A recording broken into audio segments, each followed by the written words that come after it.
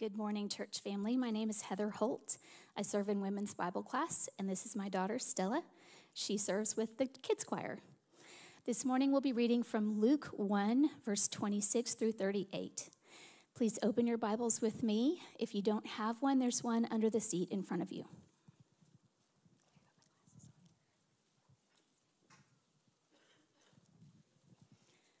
Luke 26, Luke 1, verse 26. In the sixth month, the angel Gabriel was sent from God to a city of Galilee named Nazareth, to a virgin betrothed to a man whose name was Joseph, of the house of David. And the virgin's name was Mary. And he came to her and said, Greetings, O favored one, the Lord is with you. But she was greatly troubled at the saying and tried to discern what sort of greeting this might be. And the angel said to her, Do not be afraid, Mary, for you have found favor with God. And behold, you will conceive in your womb and bear a son, and you shall call his name Jesus. He will be great and will be called the Son of the Most High. And the Lord God will give to him the throne of his father David, and he will reign over the house of Jacob forever, and of his kingdom there will be no end. And Mary said to the angel, How will this be, since I am a virgin? And the angel answered her, The Holy Spirit will come upon you and the power of the Most High will overshadow you. Therefore, the child to be born will be called Holy, the Son of God. And behold, your relative Elizabeth, in her old age, has also conceived a son, and this is the sixth month with her who was called barren. For nothing will be impossible with God. And Mary said, Behold, I am the servant of the Lord. Let it be to me according to your word. And the angel departed from her. This is the word of the Lord. Well, thank you, Heather. Thank you, Stella. A special music in a kids' choir. My little Baptist heart is full. Hey, everybody. Wow. Um, hey, good to see y'all. Uh, we continue in our series where we are looking at the principal characters in the incarnation and uh, considering through their perspective who was Jesus to them, and then through their story, what does that show us? And uh, I believe outside of Christ himself, today we come to the most significant character in the birth narrative, and that is Mary, the mother of God. So significant is she uh, in her life, in the Bible, and in church history. I only have a fraction of an amount of time to actually talk about her, but not only significant in her life, significant and controversial in her life and in posterity. And so we have a lot to talk about this morning as we think about Mary. So uh, I'd love to just continue in the text that we've already read, and we'll start in verse 26 of Luke's gospel, the first chapter, in verse 26, because we need to answer the question Mary, who was she? And Luke gives us a bit of a description here. Verse 26 We know from context in other places that she is a very common, very poor Jewish teenager from a one horse town. This is why, most likely, Luke had to say she is from Nazareth of Galilee, uh, because you actually had to get more specific regionally where she was from. One of the most fascinating things about the unfolding of God in the New Testament is how counterintuitive he chooses to make his message known. So God doesn't go to the cultural elites in Jerusalem and go, voila, here I am, but rather he, uh, Christ lives the first 30 years of his life in obscurity. I mean, like, I'm not exaggerating when I say one horse town. This isn't even like a Tyler, Texas type of situation.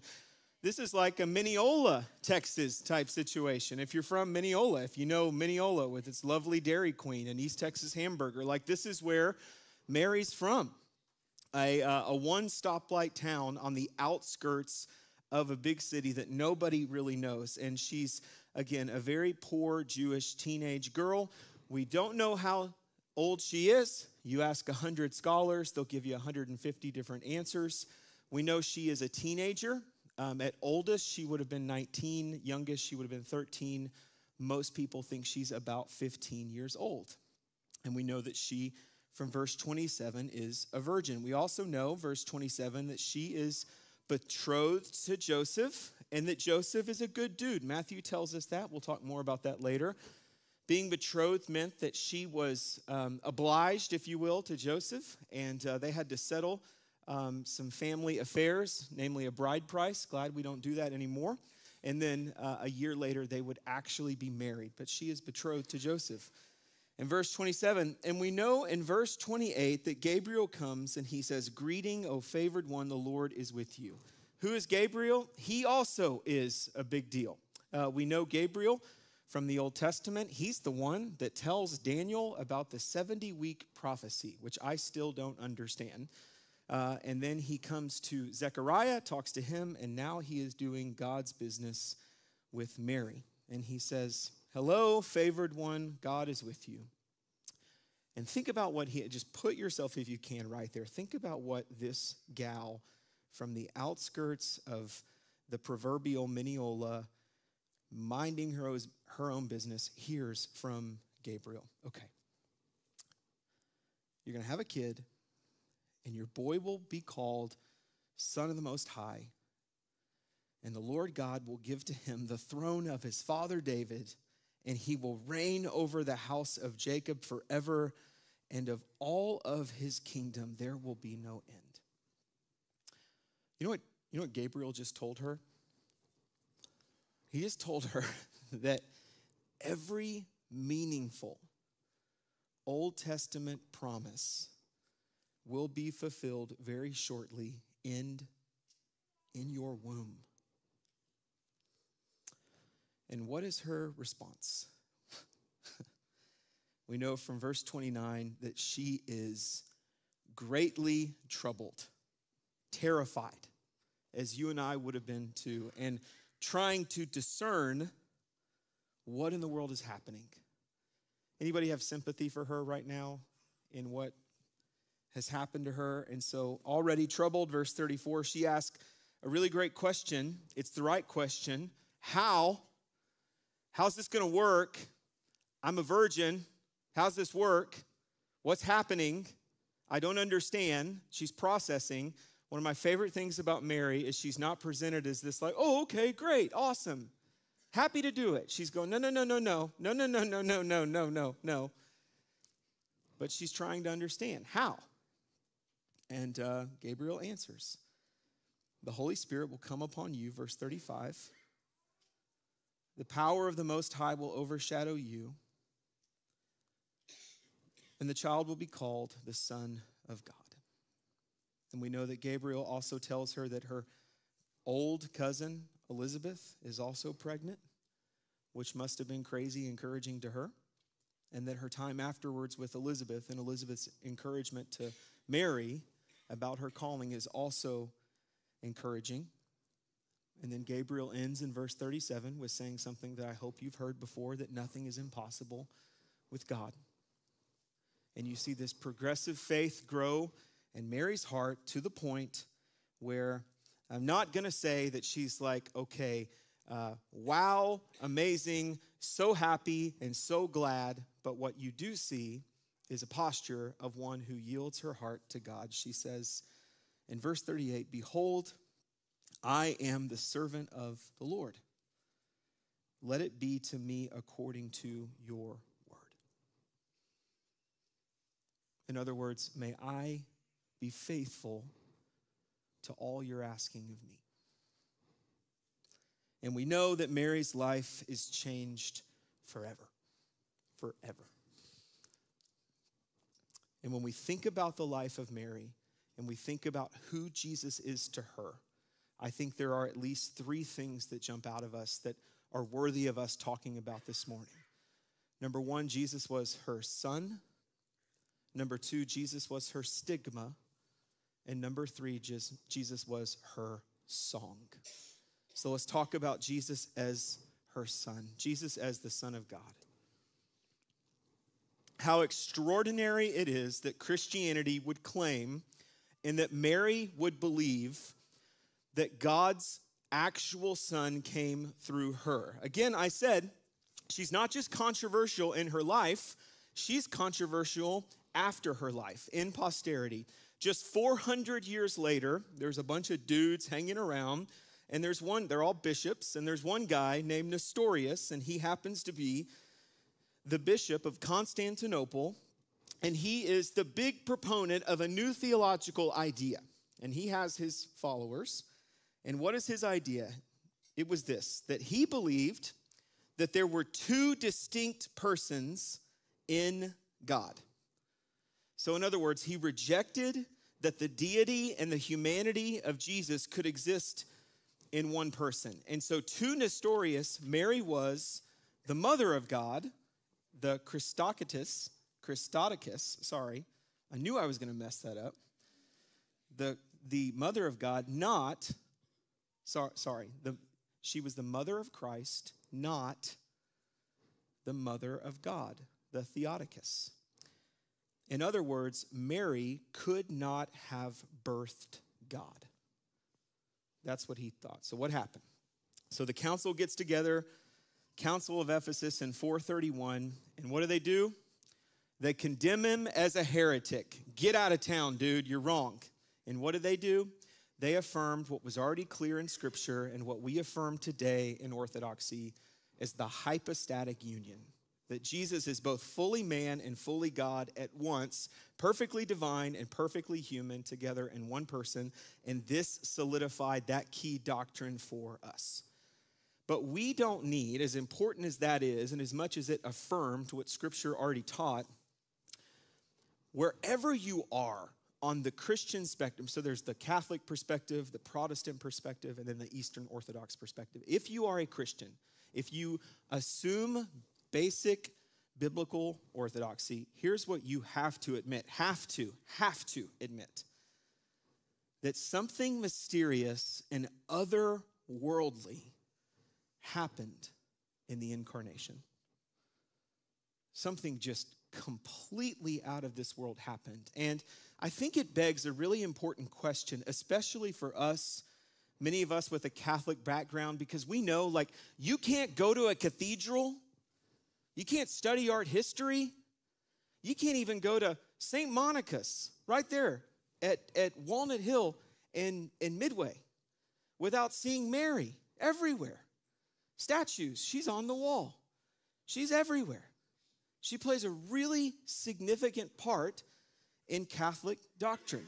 And so I thought it would be important to talk just briefly about why would they put so much emphasis on Mary because they clearly elevate the mother of Jesus above what we do here. Let me briefly talk about two things. Number one, both Catholics and Protestants agree on the virgin birth. That's just baseline orthodoxy. That's permission to play, right? But Catholics will go further than Protestants, and they will call what happened here in the incarnation the Immaculate Conception meaning they believe that Mary was actually preserved from original sin because of the merits of Christ. Now, this doctrine was not completely affirmed until 1854 by Pope Pius IX, and it even had big detractors like Thomas Aquinas, who was like, I don't buy that, that Mary was without sin. But they believed that there was something significant to Mary's constitution, that she was without sin because she was the mother of God. They also believe something that might even be more significant, more controversial, if you will, and that is that she is the queen of heaven. And what does this mean? It means that she's the mother of the church, not to be worshiped per se as Christ, but venerated and prayed to. Uh, in fact, the Hail Mary, the Catholic Church's most famous prayer, is actually going to come from Luke's account of the birth. Um, and the Catholic Catechism also makes clear that her uh, mediation, her prayers, or praying to her, don't take away from Jesus' prayers, but actually flow from Jesus' prayers. But that her prayers, Mary's prayers, are important and powerful. So they clearly have a central place in not just history, but their ongoing formation and discipleship for the Mother of God. What is the Protestant response? Okay, well, we know a couple things. One, that several hundred years ago, a bunch of Protestants got together and said, Yeah, we don't think so. And, um, and, and they joined what we would say is a, is a protest. That's the root word of the Protestant under. So We're Baptist or Protestant people.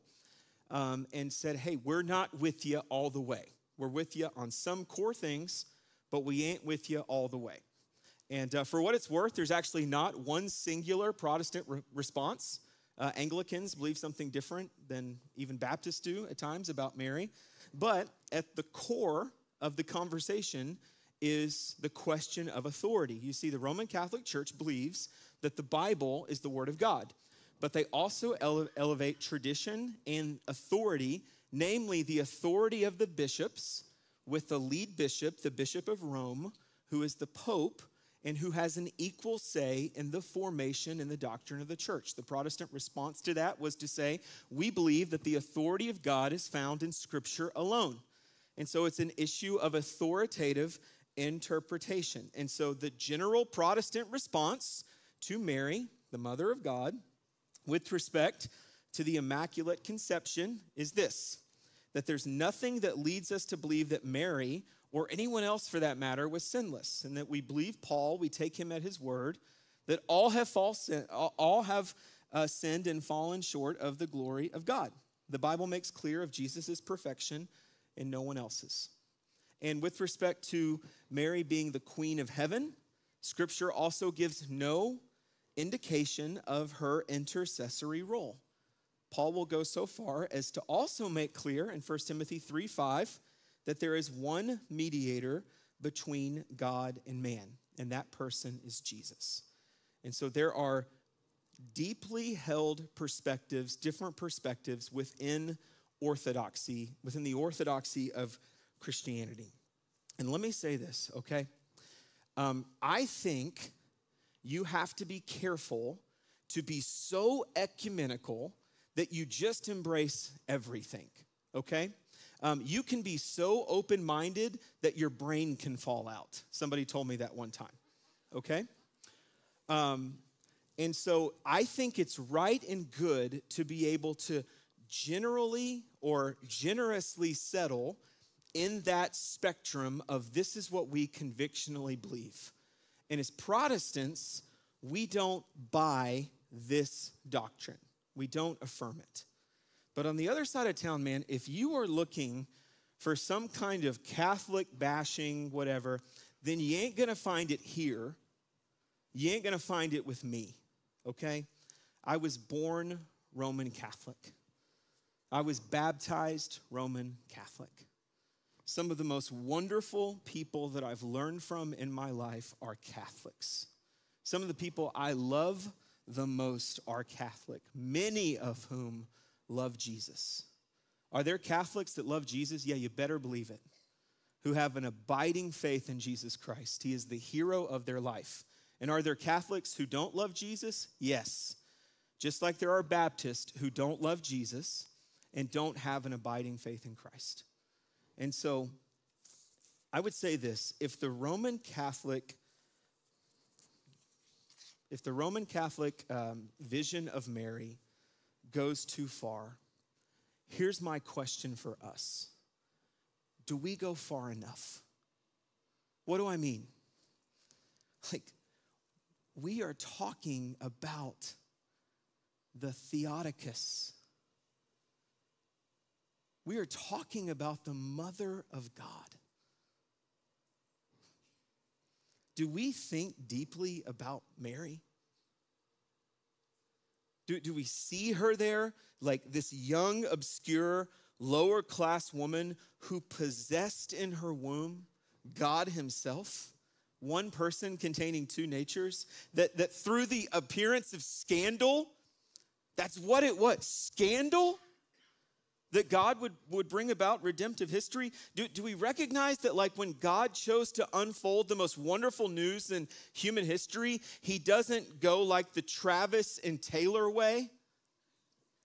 He doesn't say, like, who, who, who's, the, who, who's the most powerful power couple in the universe, and how can I promote them at the highest level of, like, you know, Madison Avenue glamour and go viral with this message around the world? How do I march down Broadway with my message of salvation? He does the he does the literal opposite of that. He goes to proverbial Mineola to this poor teenage girl through the proclamation of something that's absolutely hard for her to stomach, and she's a woman of faith, she's highly favored. And he says, Your life, and everybody else's for that matter, are going to be forever changed because God Himself will be in your womb. Do we marvel at that? On September 21st, 1982, at St. Paul Hospital in Dallas, Lauren Younger gave birth to her first son, Matthew. I'm standing right here. And while I have given her many problems, I made her a mother that day. And Jesus made Mary a mother. This is her son, the human being. What does that mean? She birthed him, she nursed him, she burped him, she snuggled him, she kept him warm, she fed him, she taught him, she worried about him. She remembered her, his first day of school. She watched scholars marvel at his knowledge. She saw his beard come in. She saw him learn Joseph's trade. She saw many years with him in the quietness of their small home before the world knew who he was. She saw his meteoric rise in popularity. She saw his conflict. She saw the pushback. She saw the criticism. And she literally watched him die. She heard him speak on the cross. This is her son. He looked like her. This is her DNA. And she cherished and pondered these things in her heart do we stop and consider the fact that God used life on life connection to redeem humanity? Like, and, and if you think about that, like he redeemed humanity through humanity. This is one of the primary points that Paul makes in his letter uh, to the Galatians. That like, like God, he could have done, like he, he could have created himself from nothing. He had already done that with Adam and Eve. That was possible but yet he completely goes through the human experience. Why? Because he wants to completely redeem the human experience. He looks at the brokenness of the human experience and says, The man and the woman are the high point of my creation, and I can redeem it and I can make it whole by going through it. And he chooses a woman in obscurity in a nowhere town to dignify and redeem the human story. And Mary treasured these things in her heart as she beheld her son. But he wasn't just the human son, he was the divine son. This boy would look like her in every way except be without sin. And because God was his father, that means he did not inherit Adam's guilt, that he was different and she cherished and she pondered these things in her heart. Do we cherish and ponder the incarnation in our hearts? Sure, I think the Roman Catholics go too far. Do we go far enough? We don't need Mary statues, I don't think. We don't need to pray to Mary, I believe, with confidence. But do we consider what God was doing in this marvelous mystery of the incarnation? It's astounding. He was her son. Divinity and humanity in one person, and that is astonishing to behold. Secondly, Jesus was her stigma. What is a stigma? What is a stigma? A stigma is a mark of disgrace associated with a particular circumstance, quality, or person. It is not a verdict, but it is nonetheless something that stays with you, sometimes for a lifetime. If you've ever been falsely accused of something, you know what it's like for a verdict to not be true and yet a stigma to remain. And here's Mary minding her own business, working her chores before Gabriel shows up and he's like, hey, you're preg.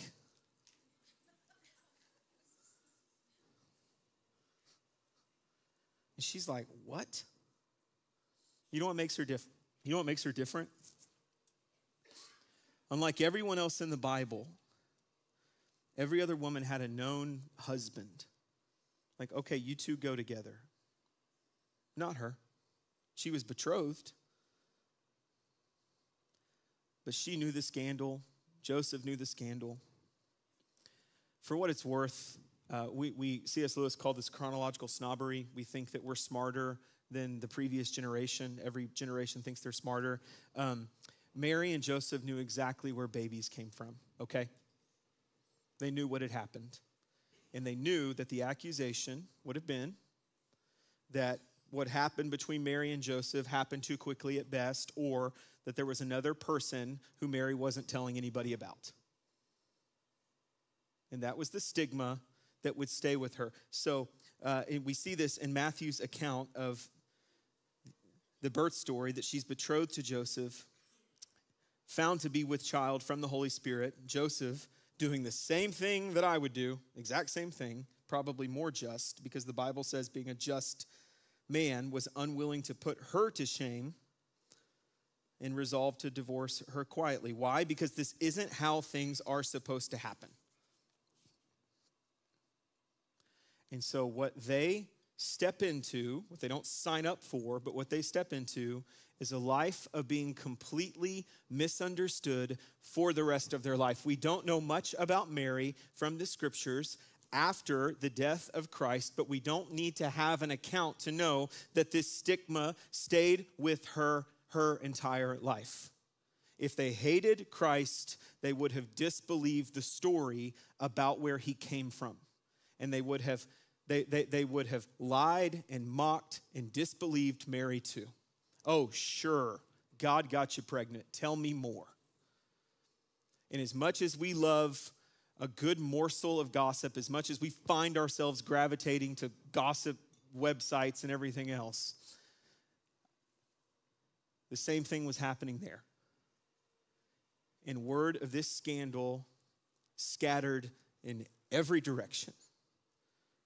And so Mary embraces for a lifetime, by God's design, the stigma of Christ.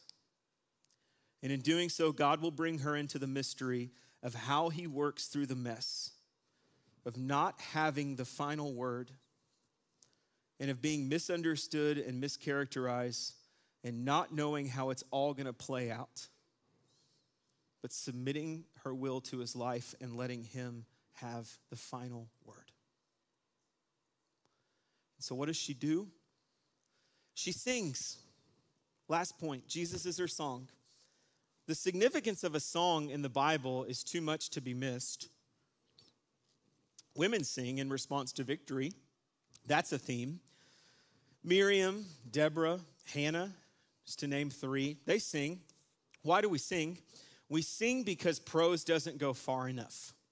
It's this physiological reaction that goes, I, I, have to do more than just say words right now. I was with my friend a couple weeks ago. We were at a restaurant on Lovers, uh, um, a, sandwich restaurant, and they have uh, cornhole in the back.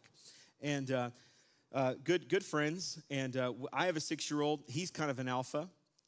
They have a six year old. He's kind of an alpha. And uh, they were playing cornhole, I think, for the first time. And they're a Longhorn family, and we're an Aggie family. And so that just adds to the, you know, the fuel. And there's, you know, there's just some things that are only going to be redeemed in the new heaven and, and new earth, right? And um, and so uh, they start, you know, playing cornhole, and my son particularly hits a good shot, I guess, sandbag, whatever it is. And uh, out of nowhere, he just goes in like his most dude perfect way. He's just like, let's go. And then he starts doing the griddy, which I'm not going to do for you now. you know, and it just, and it was this little song just burst out of his heart. I'm like, where in the world did that come from? You know, it was his own little song and his own little griddy. Why? Because there was like like prose wasn't enough. What like that moment wasn't meant for prose. It's why at a wedding you dance. You do the you do the vows, you do the nuptials. Those are important. You speak words, but you don't go to the reception and just keep talking. You dance and you sing because your heart explodes. And that's what Mary does. Her heart explodes into a song and we've already heard that song beautifully sung over us. So let's look at it briefly in a little more detail. Verse 46 Mary said, My soul magnifies the Lord, and my spirit rejoices in God, my Savior. Magnify just means to make bigger. Rejoices means to take joy in. And Mary says, I've zoomed in on God and have found my joy in Him. That's where my hope is, is in the Lord. Verse 48 For He's looked on the humble estate of His servant. For now all generations will call me blessed. That word is the same word that Jesus said he looked upon them with compassion. This is not a boast. She's not, you might see that, that she's a, a, little proud in this moment. Like, hey, people have looked upon. That's not what's happening. She is saying, I have been seen by God. This isn't about like my individual, God has seen me, and that is my boast. I've been seen by the Lord. I have been seen by God. Verse 49 she starts to speak about him. For he who is mighty has done great things for me, and holy is his name. And his mercy is for those who fear him from generation to generation. What she's saying is not new. She has not come to faith, but she's speaking of a faith that she already has. And she's speaking in principle about the mercy of God, that He's a God of mercy, He's a God of compassion. He's a God who doesn't judge us according to our will, but has mercy, that his heart is for us. And then she goes a little prophetic, verse 51. Don't miss this. And he's, he has shown strength with his arm. He has scattered the proud in the thoughts of their hearts, and he's brought down the mighty from their thrones and he's exalted those of humble estate, and he's filled the hungry with good things, and the rich he has sent away. Do you hear this? He has scattered the proud in the imaginations of their hearts. Scattered, uh, I love the King James translation. Uh, we say thoughts here, that the uh, King James says imaginations. He has scattered the imaginations of the proud. What is happening in the head of the proud is they are consumed with themselves. Mary says God will scatter that directionally away from the place of where God dwells. He has brought down the mighty from the throne. Those who have elevated themselves will find themselves chopped down. And then he sends away the rich empty.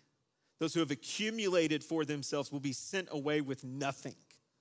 Do you see what's happening here? This is actually the reversal of the social position. This is taking the ethos of Dallas, Texas, this is taking this place where we live, where it is about uh, it is about accumulation, and it is about title, and it is about significance, and it is about self-importance, and it's about accumulating. And it's not about just today's bread, it's about bread for decades from now. And he's saying that, that what he's doing is that he's flipping that on its head.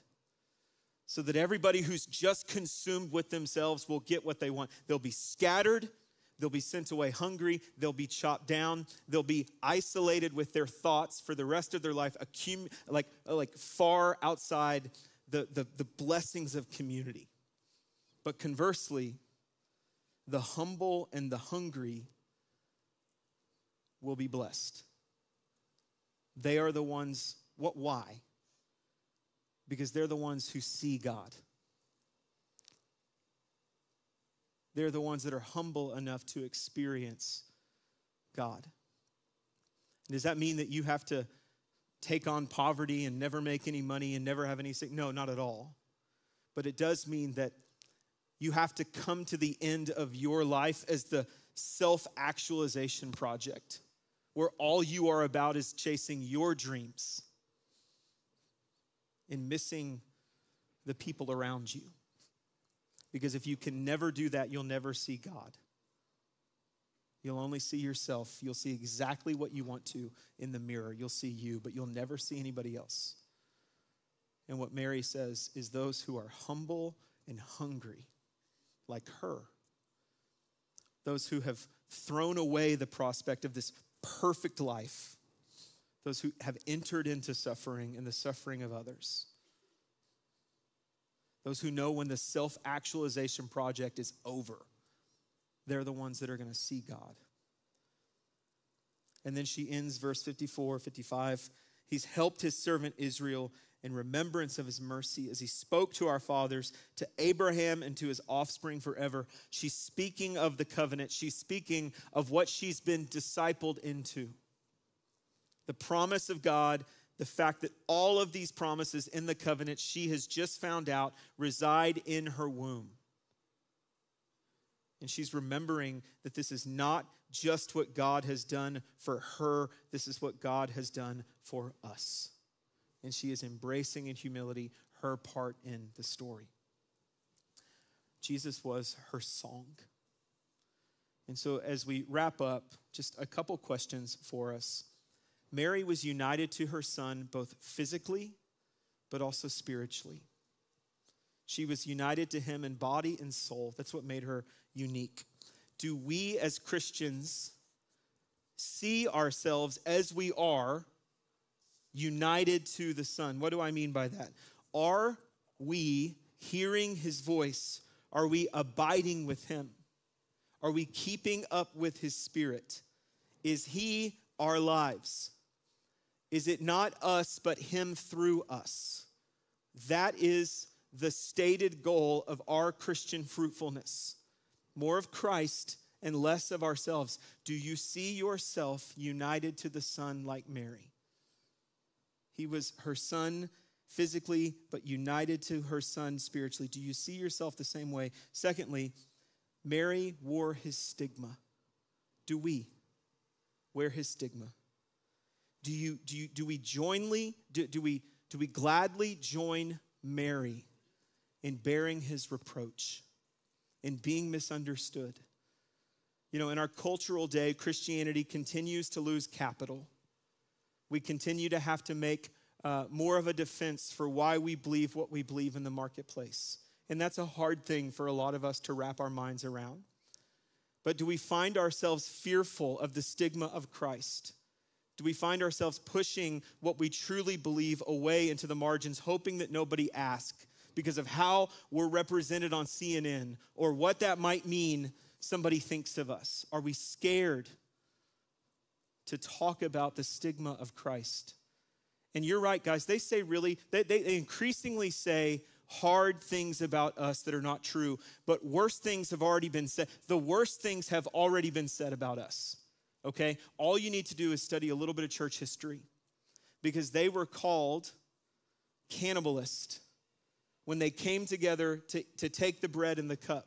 They're like, you're, you're feasting on Jesus how we, they were called incestuous, that they practiced incest because they called each other brother and sister of lo- in love. Has anybody been called incestuous? Has anybody been called a cannibal? No. So don't worry what they call us on CNN, okay? And yeah, sure, there's some deconstruct, there's no doubt there's some work to do to get to the heart of Christ.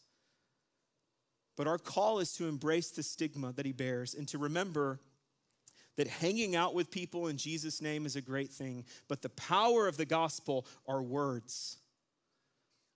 With the courage to tell somebody, Jesus Christ is the resurrected King of the universe, and he has redeemed my life, and he can redeem yours by putting your trust in him. The power is in those words.